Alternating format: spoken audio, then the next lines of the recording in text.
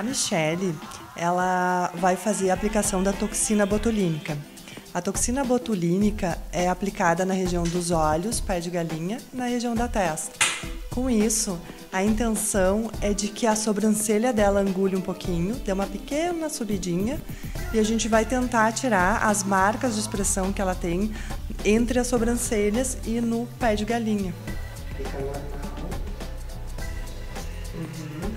Franzes bravas junto às sobrancelhas. Essa tá bem marcada. Levanta bem. E dá um sorriso forte.